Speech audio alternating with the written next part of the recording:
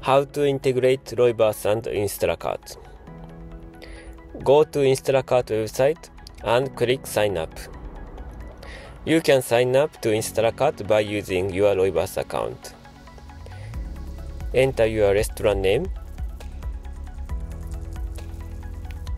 Choose the language of the menu and choose your country and select the store name from your Loyverse store list.